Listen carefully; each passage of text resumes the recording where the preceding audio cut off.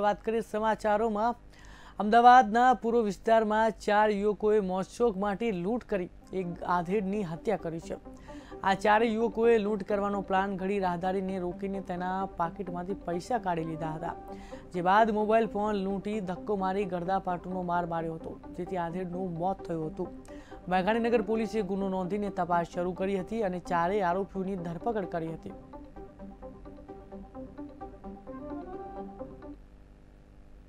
માં જમવા જવું હોય કે અન્ય કોઈ પાર્ટી કરવી હોય, તો એના માટે પૈસા આ ચાર જણા જોડે કોઈ હતા નહીં. ત્યારે આ વ્યક્તિ જે છે એ જતો હતો, એટલે એના જોડેથી એમને એમ કે આ પૈસા મળી રહેશે.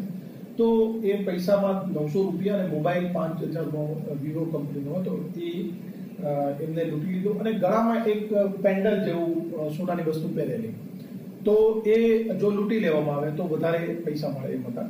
તો આ પેન્ડલ લૂંટવા માટે મોબાઈલ અને પૈસા તો આવી જ ગયા હતા. પણ પેન્ડલ લૂંટવા માટે થોડી વધારે મારામારી કરવા ગયા. એ દરમિયાન આ ભાઈ